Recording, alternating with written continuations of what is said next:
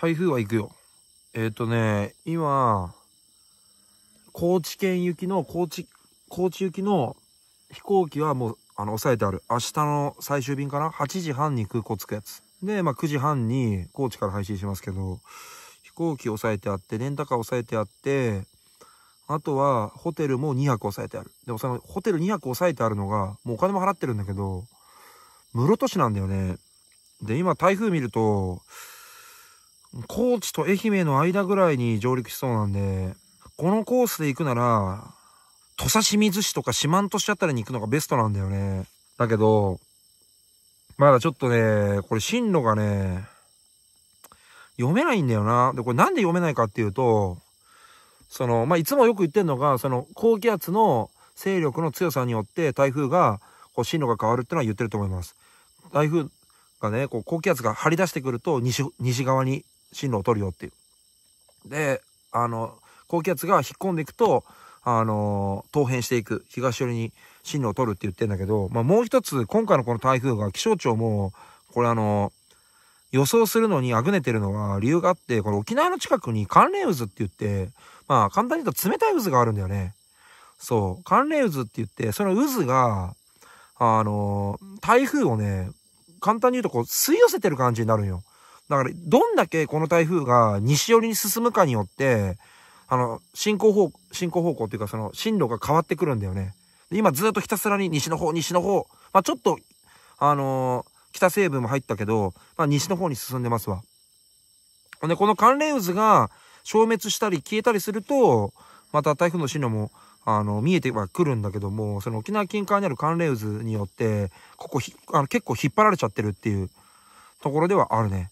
で、こいつがいると、やっぱ台風のこの成長も阻害するし、あと、この2日間ぐらい台風が全然成長しなかったのは、まあ、X に書くと長くなるんで省りましたけども、理由がありまして、その台風がこう進んでいく、その進行方向に、そのシアーって言って、ウィンドシアーって言うんだけど、まあ、もうちょっと細かく言うと延直シアーって言いまして、まあ、シアーって何ぞっていうところなんだけど、まあ、台風の天敵なんだわな。で、台風の天敵ってなぜか、なぜかっていうと、台風って反時計回りに左回りに渦を巻いているんだが、延直シェアって、その、高度の低いところと高いところが、こう逆にこうやってね、あの、風の動きがあるんですよ。強い風が吹いてるんですよ。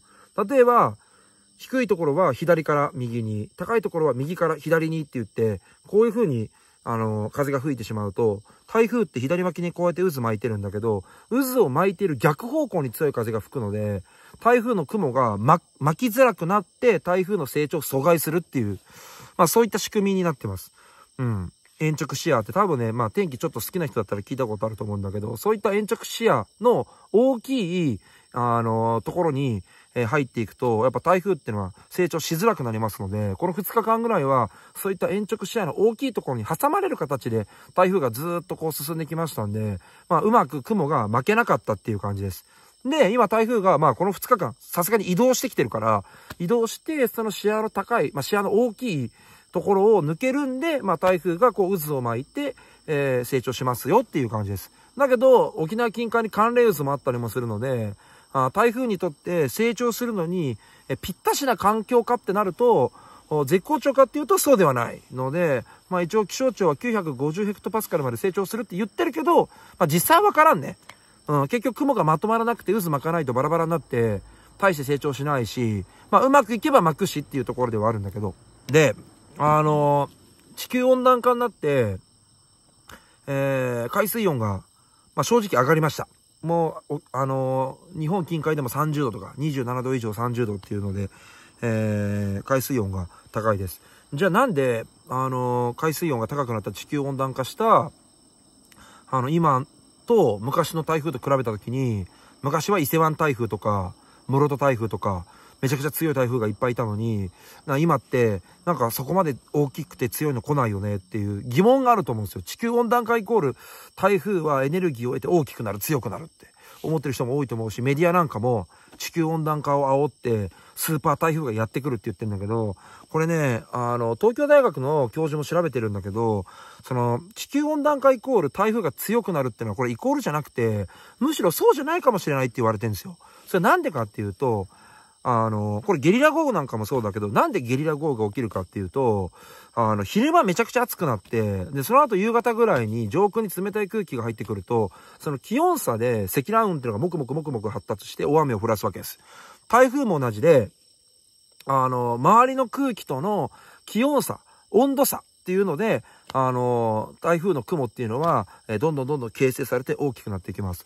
ってなると、地球温暖化になると、上空の空気が暖かくなるので、台風の雲本体の温度と上空の温度、まあ要するに気温ですよね。そこに差ができないから、台風の雲が意外と発達しないんじゃないのっていうのが、えー、教授のね、調べなんですよ。で、多分それ当たってるんじゃないかと思って、台風の目の中に暖気核って言ってあったかい空気が溜まってるんだよね。そう。台風の目の周りに暖かい空気が溜まってて、その台風の目の外側の、の空気の差で、もくもくもくもくもくもくもくってこうやってどんどん上昇気流でこう雲が発達していくんだよね。ってなると、目があったかいのはあったかいんだけど台風だから、周りも地球温暖化であったかいと、ここに差がないから、目の周りの雲が発達しないっていう。まあそうやって、あの、台風の成長をこう阻害してる要因があるんじゃないかって言われてんだよね。うん。あのね、えー、上、なんとか対流圏、上、上、上空暖流圏、なんか、ちょっと難しいんだけど、なんかそんなような言葉を使うんだよね。ちょっと俺もちょっとわかんないんだけど。そういったものを、えー、まあそういったちゃんとね、あの言葉があるんですけど、うん。だからね、あの、昨今の台風って、この令和になって、あの、日本近海で台風は発生はするんだよ。あったかいからね。発生はするんだけど、あったかいから、例えば昔見たら猛烈で強い台風とか、猛烈の勢力とかね。うん。伊勢湾台風みたいに巨大な台風っていうのが、なんか最近あんまないじゃん。そう。なんで、もしかしたら発生はしやすくなってるんだけど、成長はしづらいのかなっていう。うん。まあ、行って950とか。台風7号なんかも、まあ、950とか40とかってそれぐらいじゃん。まあ、そんな感じで、まあ、台風のプチ情報でございますが、だいぶ遅れてるよね、台風ね。困っちゃうよね、これね。なんか和歌山だったら車で行こうかなって思ったの。それはなんでかっていうと陸続きだから。四国は、あの、橋を越えなきゃいけないんだよね。例えば瀬戸大橋とか。うん。橋がいっぱいあるじゃん。これ橋が結構すぐ止まるんだよ。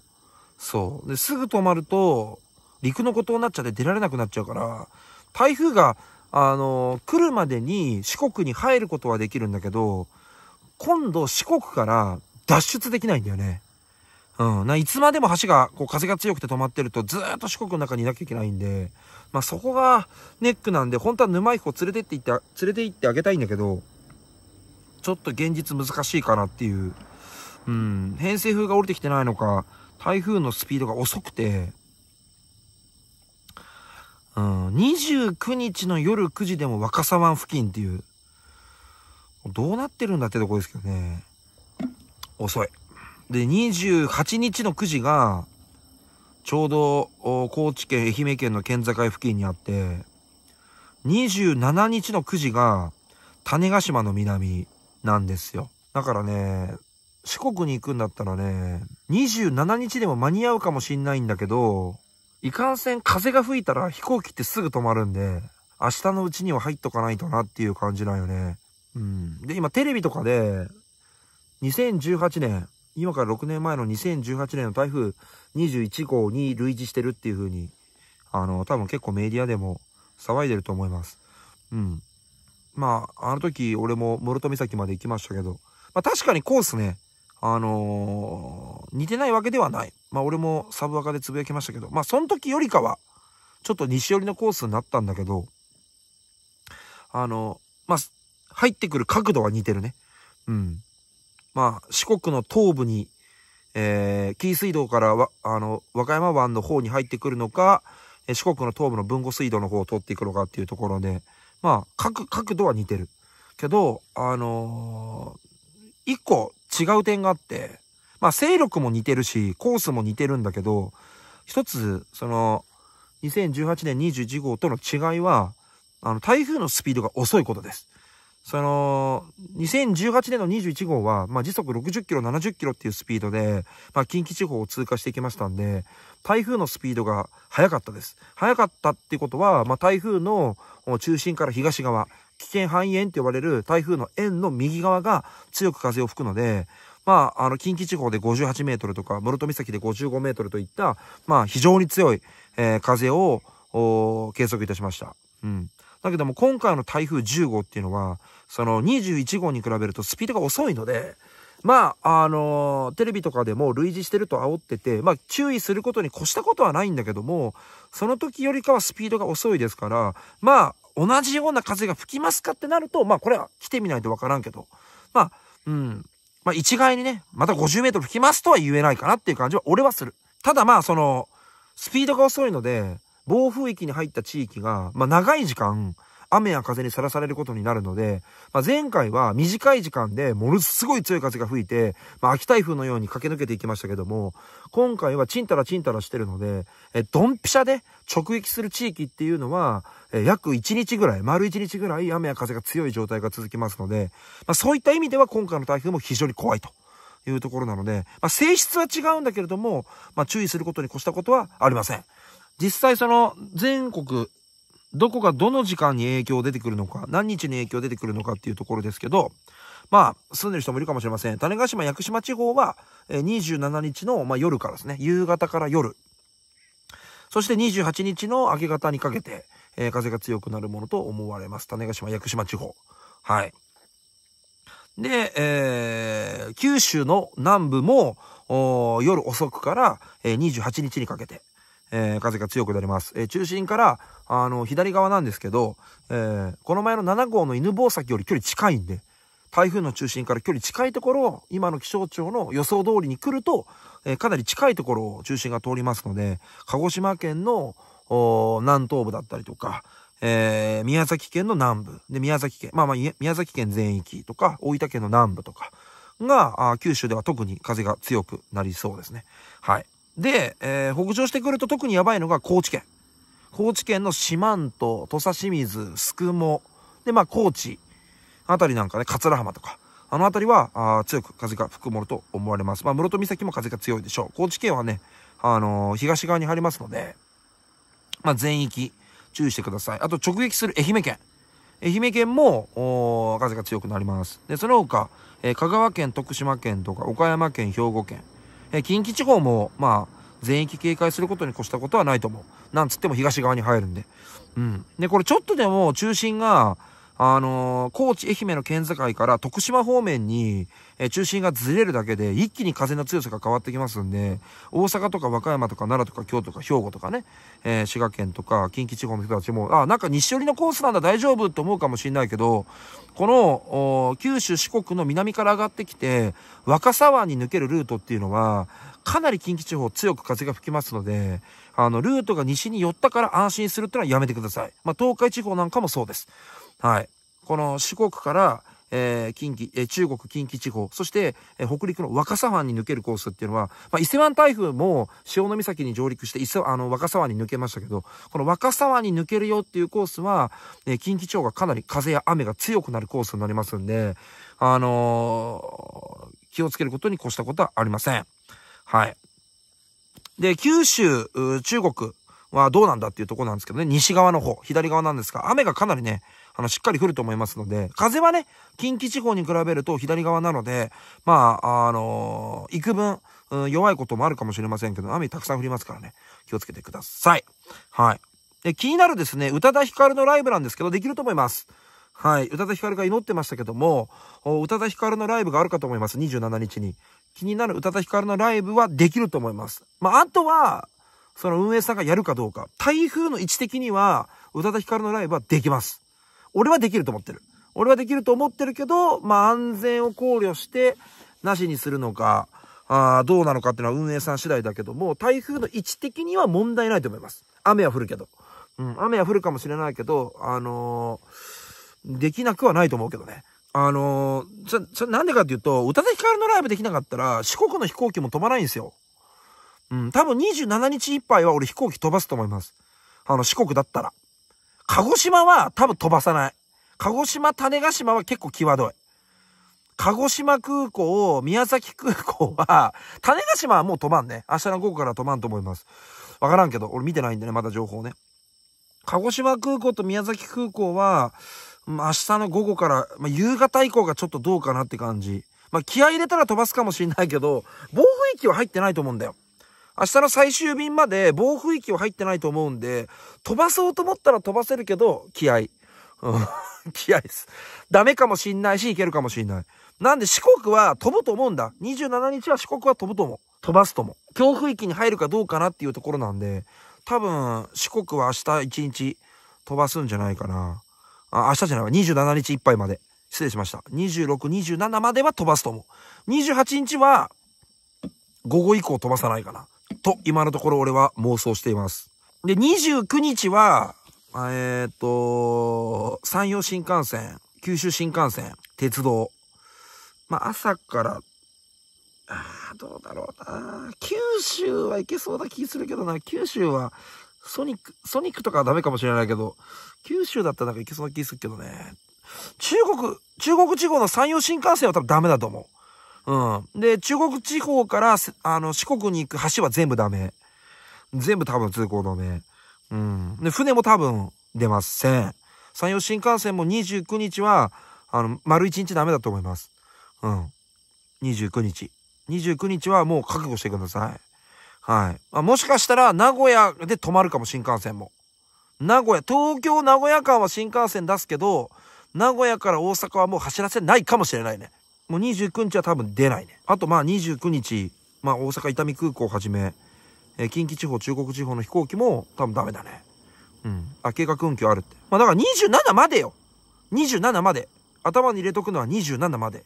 移動するなら27まで。28日は、28日、29日は、まあダメになるかもって思った方がいいかもね。29日は絶対ダメ。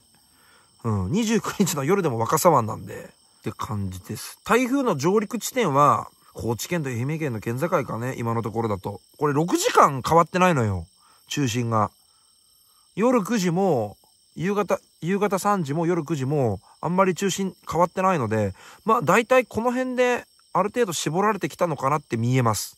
中心はあんまり被害ないですかないですかある。うん。あ、全然ある。全然あります。中心付近。余裕である。余裕であるよ。あの、中心付近が困るのは吹き返しの風が強いんだわ。中心抜けた後の風向き変わって吹き返しの風が強いので、余裕である。今現在の台風が、あの、気象庁の予報円の中心を通った場合に一番風やばいのは高知と愛媛県。場所具体的に言うと、四万十、四万十から南だね。四万十とか土佐清水とか、すくも市とか、うん、あと、愛媛県宇和島。宇和島とか、これちょっと漢字読めないけど、や、八幡浜？八幡浜かな？とか、もうあと、佐多岬灯台とか多分アホみたいな風吹くやろうね。あと、あのー、愛媛の松山とかね。風強いですね。あと、地味に風強くなるのは、あのー、鹿児島県と宮崎県やね。串間とか日南、えー、青島、宮崎、えー、高鍋、えー、日向、日向市とか延岡あたりね。うん。この辺りもあの、台風の左側ではあるけど、海沿いなんで、もうアホみたいに雨降るね。アホみたいに雨と風強いと思う。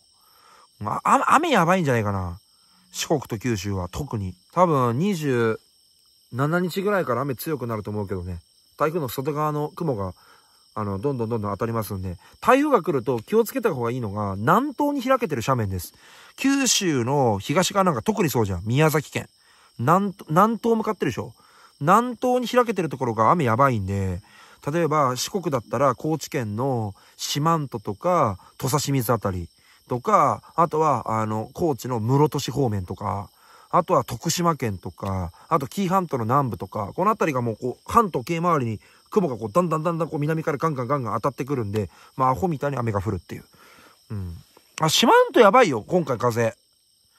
このコース通りに行ったら40メートルは硬いと見てるけどね、俺ね。もともと風吹きやすいところだし。